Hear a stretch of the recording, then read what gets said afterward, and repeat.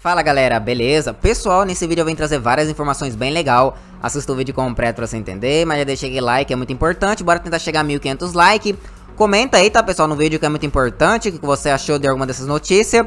Se inscreva galera, e aciona o sininho Porque como é fim de ano, né galera, vai ter bastante item gratuito Pra você não perder, se inscreva e aciona o sininho. Bora lá então para o vídeo. Começando aqui galera, com um novo item gratuito Que você vai poder estar adquirindo Muito em breve no Roblox, tá bom? Ainda não desbloqueou mas provavelmente vai ser na próxima semana que vai desbloquear, tá bom?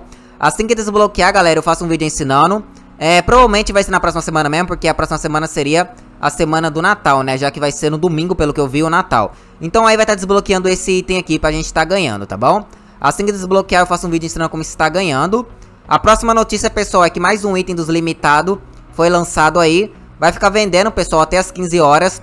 O valor é 300 Robux, tá, pessoal? Depois das 15 horas vai ficar offline e vai voltar novamente a ser vendido das 23 à meia-noite. Depois vai ficar offline e quando voltar vai ser para revender.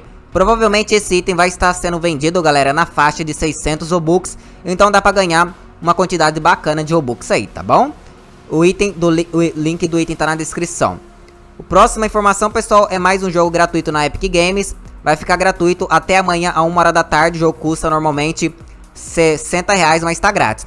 Pessoal, fica a dica pra vocês aí, que até o final do ano, até dia 31, vai ter um jogo gratuito todos os dias.